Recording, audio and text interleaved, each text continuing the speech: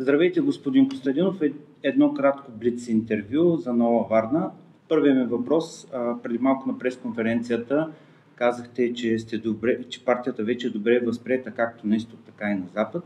Въпросът ни е как политическите субекти в България възприемат поканите, които получавате от различни партии в цял свят вече? Избягват да ги коментират, между другото, защото действат на принципа на Штраус заравят си главата в пясъка и си мислят, че не виждат идващата опасност. Истината е, че Възраждане в момента се легитимира като най-сериозно и най-добре приятата на международна почва българска политическа организация. Аз ви казах, че ние имахме посещения на наши делегации, както в Москва, така и във Вашингтон, то в рамките на два месеца. Предстои посещение в Пекин, което ще се случи след изборите и още и още други такива посещения. Отделно от това предстои създаване на собствена парламентарна група в Европейския съюз, всъщност в Европейския парламент. Това няма как да го гарантираме на 100%. Нали? Работим за това, борим се за това, водим разговори, имаме всички шансове, но все пак не можем да сме на 100% сигурни. А каква ще е посоката на тази група евентуално? Защита на националната идентичност на Европа на нациите. На всяка една от европейските държави. Да, Европа на нациите. Всъщност това, което е Европейския съюз като начало, той никога не е бил замислен като държава. Той е замислен като економическа, до някаква степен културна общност, но никога и в никакъв случай политическа.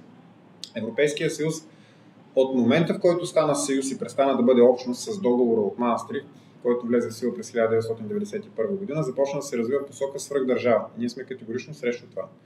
Ние нямаме такава държава. Нашата държава се казва България. Столицата ни е София, решението трябва да се вземат тук, а не в Брюксел, не от хора, които никой не е избирал и не от хора, които дори не могат да намерят България на картата. Ето за това ще се бори нашата група и се гордея, че представителите на Възраждане в а, нашата листа, които ще влязат в Европейския парламент, са най-добре подготвените в настоящия момент от всички други кандидати.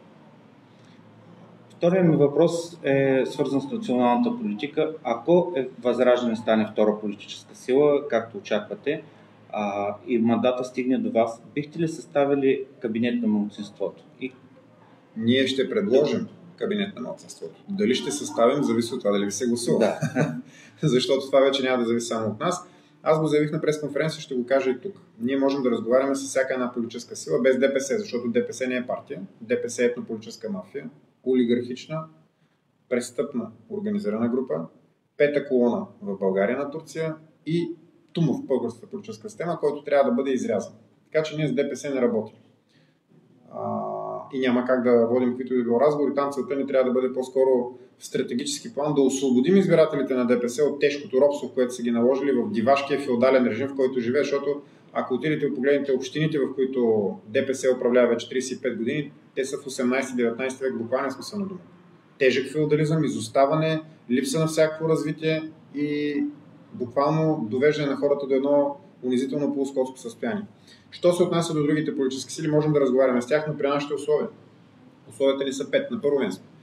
Провеждане на референдум за членство на България в еврозоната и запазване на българския лев. На второ място. Провеждане на референдум за членство на България в НАТО, тъй като НАТО представлява в момента заплаха за националната сигурност на България. На трето място, премахване на санкциите срещу Руската федерация и създаване на компенсаторен фонд, с който да се обещетят българските предприемачи за щетите и загубите, които претърпяха в резултат на наложеното от България ембарго върху Русия, не по тяхна вина. На четвърто място, прекратяване на военната помощ за Украина и даване на гаранция, че няма да бъдат спратени български войници в Украина, тъй като има такъв натиск.